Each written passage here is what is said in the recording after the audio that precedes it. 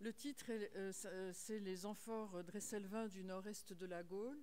En réalité, je parlerai plutôt des amphores de Franche-Comté, un domaine où j'ai beaucoup travaillé ces dernières années et sur lequel les résultats sont plus aboutis.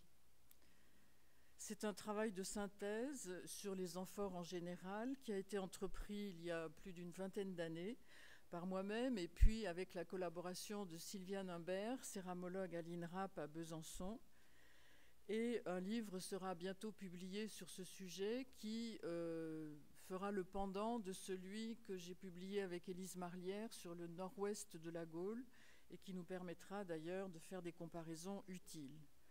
Je présenterai ici les premières données sur la répartition des amphores dresselvins timbrés en Franche-Comté et sur les liens que l'on peut établir avec les ateliers d'origine à travers le temps, c'est-à-dire entre le premier et le troisième siècle. Alors, pour aller à la suivante.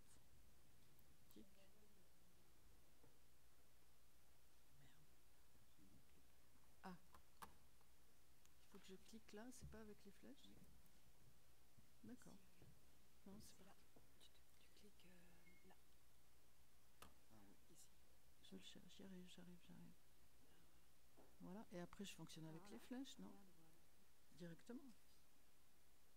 Voilà, c'est ça.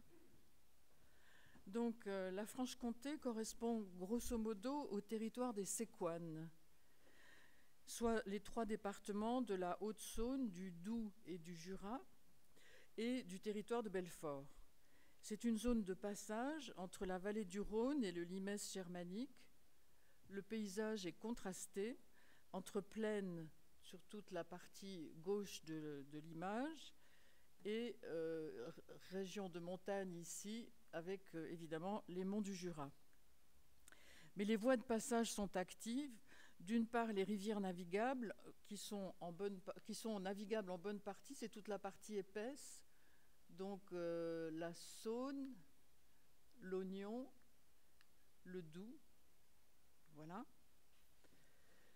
Euh, et des voies romaines qui sillonnent le pays, qui fait que c'est finalement un pays relativement perméable. Notre enquête a porté sur des sites urbains et ruraux, quelques villas, des sanctuaires. Nous avons étudié c'est très modeste quand on parle des millions de tessons du Testaccio ou des millions de tessons des ateliers de Bétique, mais nous avons étudié euh, plus de 100 000 tessons et comptabilisé 4 250 amphores en nombre minimum d'individus. Les Dresselvins de Bétique représentent 450 amphores en nombre minimum d'individus. La moitié se trouve à Besançon. Besançon est là. Et on parlera aussi d'une autre ville qui est Mandeur, qui est là, qui sont les deux villes capitales. Mais la capitale Besançon a une importance majeure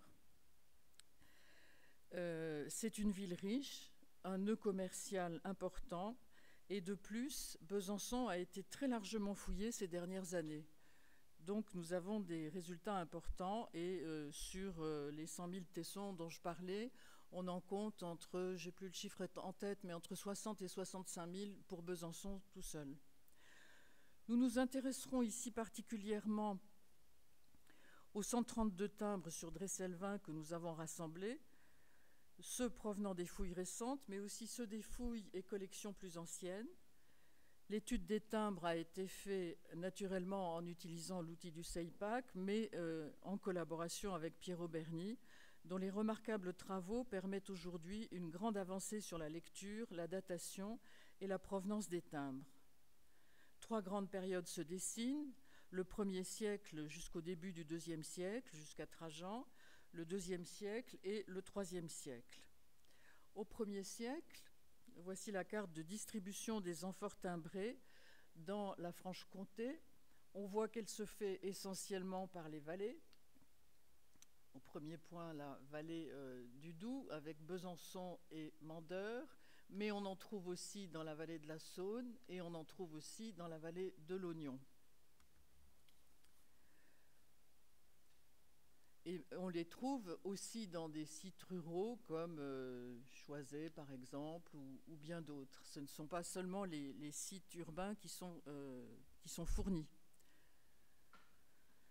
Dans le sud du territoire, c'est une zone montagneuse. La, diffusion se fait par voie de terre, à Lons-le-Saunier, relativement bien alimentée, et elle est plus, rare en altitude, par exemple au Mont Rivel, où on voit simplement un exemplaire de timbre. Il y en a cinq à Lons-le-Saunier.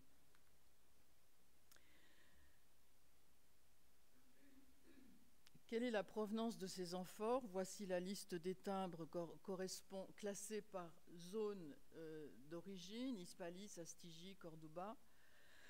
Euh, au 1er siècle, elles viennent essentiellement de la zone d'Hispalis. Euh, on compte 22 timbres qui viennent surtout de la Catria, mais aussi de celle de, la zone de Cordoba avec 11 timbres La zone d'Astigie ne compte que deux timbres et ils viennent d'El Judio. C'est surtout la vallée du Guadalquivir qui est concernée. Mais notons que pour 16 timbres, les ateliers ne sont pas localisés pour le moment, ce qui est considérable. N'est pas Non Manque une photo. C'est pas grave.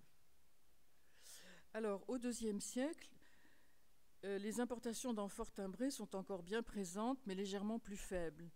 36 timbres. Leur distribution en Franche-Comté ne semble pas changer. Une majorité vient. Oh, décidément, je me suis perdue là. Siècle et la deuxième carte. Tac. Ah oui, ça c'est la distribution. Excusez-moi, c'est la carte d'origine des amphores qui, qui, sont qui viennent de la de la Bétique au premier siècle de notre ère, où l'on voit effectivement que la vallée du Guénil est très peu représentée. En revanche, c'est cette zone qui est très majoritaire. Mais la région de Cordoba est encore bien représentée aussi.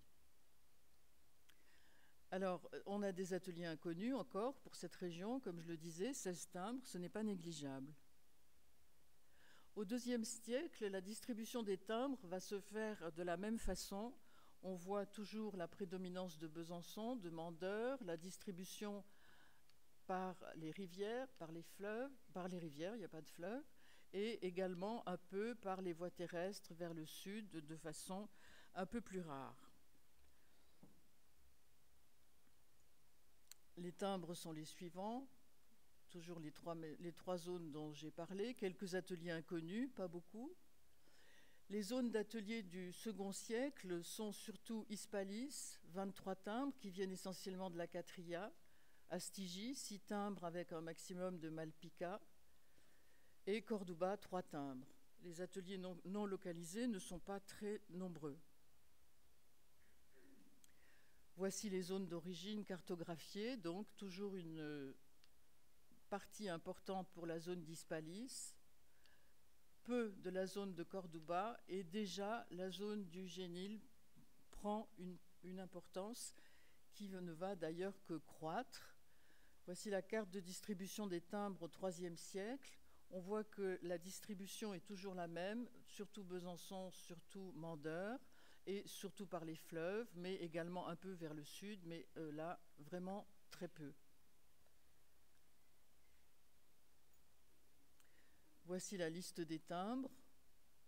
Donc, euh, et Las Delicias prennent une place très importante à ce moment-là.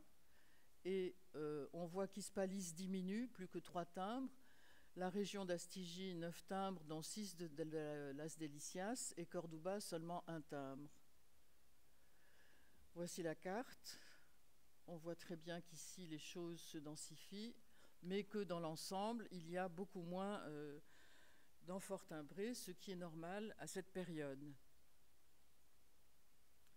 Le tableau synthétique des timbres nous donne une vision globale et, et, modeste en fait de ce que l'on peut faire, puisque le total des timbres connus est de 132, mais le total des timbres attribués à un atelier et daté n'est que de 84. Et les ateliers non localisés sont encore nombreux, puisqu'il y en a, il y a 48 timbres qui sont en, mal d'attribution.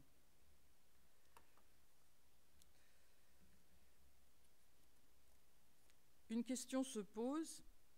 Alors, nous n'avons pu travailler que sur les amphores timbrées, ce qui limite notre appréciation. En outre, parmi elles, toutes ne sont pas utilisables. Pardon.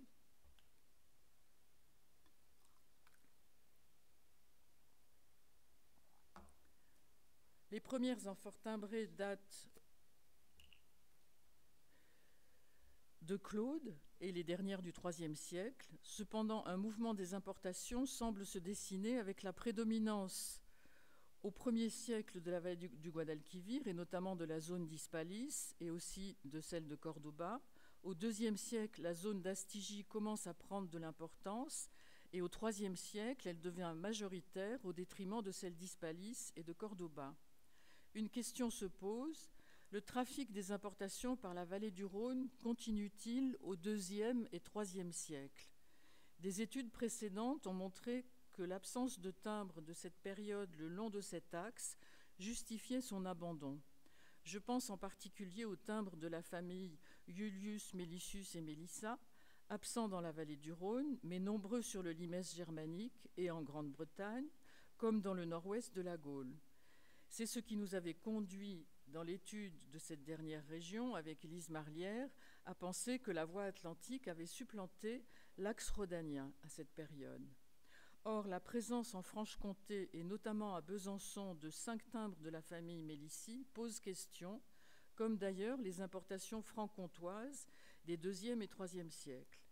On peut difficilement imaginer que le trafic qui se fait par les rivières du Doubs, de la Saône et de l'Oignon se fasse depuis une autre, source, une autre source que celle de la vallée du Rhône. On les voit mal descendre la vallée du Rhin et atteindre la Franche-Comté. Au reste, il sera intéressant de comparer les deux études, celle du nord-ouest de la France et celle de la Franche-Comté, mais je ne le ferai pas ici, c'est un projet qui est en cours. Je noterai simplement sur cette carte, sur laquelle nous avons indiqué en diverses couleurs euh, les, ateliers, mais j'arrive pas à lire. Euh, D'une part, il y a en jaune, si je me souviens bien, les importations vers la Franche-Comté uniquement. Je vois pas bien Dans les deux régions, c'est le jaune. Le bleu, c'est le nord-ouest uniquement. C'est ça. Donc on voit par exemple que Malpica est très bien représenté dans le nord-ouest, mais pas en Franche-Comté. Et euh, le reste, évidemment, c'est la Franche-Comté uniquement. C'est simplement pour montrer euh, comment peut s'articuler l'étude maintenant dans l'avenir, puisque euh, nous avons des comptages qui sont les mêmes dans ces deux régions de la Gaule. Je, noterai simplement qu'il y a entre ces deux régions des, mouvements parallèles entre l'importance de la zone d'Hispalis et la Catria dans un premier temps, et celle de la zone du Guénil plus tard, et de l'As Delicias en particulier. Je vous remercie. C'est quelque chose qui est encore brut de décoffrage et plein de chiffres, mais je pense qu'il peut être précieux.